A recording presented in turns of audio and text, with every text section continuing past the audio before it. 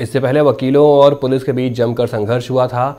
तीन तस्वीरें इसी संघर्ष की गवाह हैं। पहली तस्वीर में पुलिस वालों का धरना प्रदर्शन है, दूसरी में कल वकीलों का प्रदर्शन है। तो वहीं पुलिस हेडक्वार्टर की सुरक्षा सीआरपीएफ के हवाले है।